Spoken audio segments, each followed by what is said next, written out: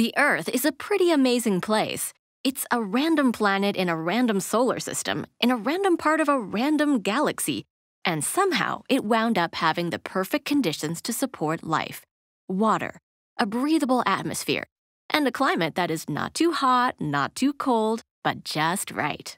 In the interstellar climate lottery, it seems that we hit the Goldilocks jackpot. But that isn't to say our climate has been this way forever or will continue to stay this way. The Earth has undergone many changes to its climate in its 4.5 billion year existence.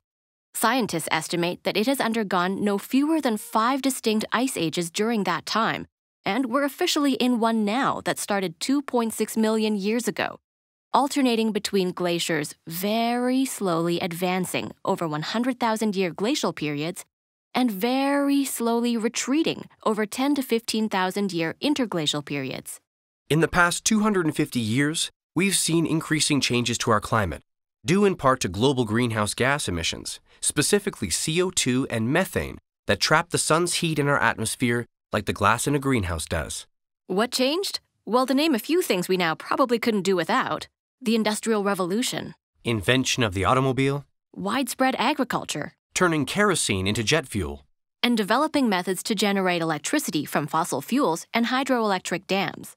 In fact, in the last 100 years alone, the globe's average surface temperature has risen about 1 degree Celsius, with the rate of that change nearly doubling in the last 50 years.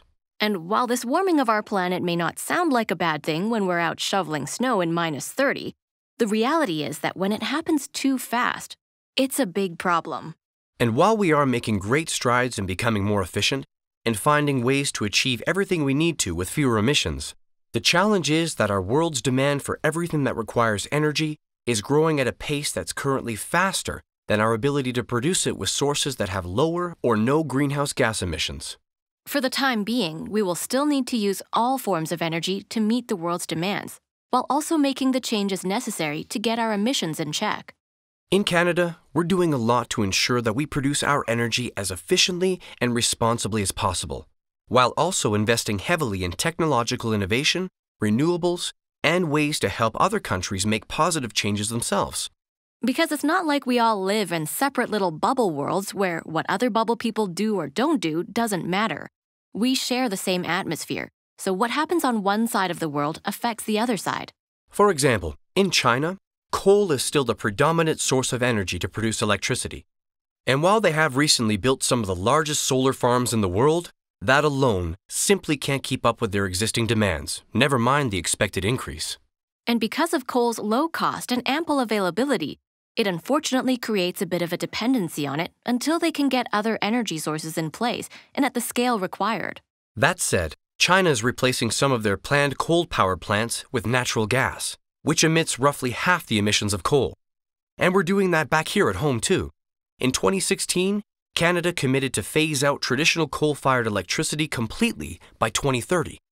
Replacing a higher carbon energy source like coal with a lower carbon source like natural gas is sometimes referred to as stepping down the carbon ladder. Why is that? Because we choose to use an energy source on a lower rung of carbon emissions, meaning its production and consumption releases fewer of the carbon based emissions that have a negative impact on climate change. Beyond the implementation of more renewable energy sources like solar and wind, new innovations are helping us to move all sources lower down the ladder.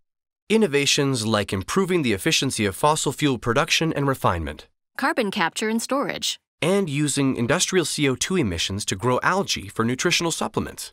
Yum. In my tum. These all play a part in reducing our country's own greenhouse gas emissions. But it can't just be one country alone, since remember, we all live within the same bubble. An ongoing global effort will be critical as the world's population and energy demands continue to increase over the coming decades. Nations can lead and commit to larger initiatives, but individually, we can all help make a difference by being more efficient with our own energy use and reduce our consumption of stuff. Human activity contributes to current climate issues. But human action can be the solution.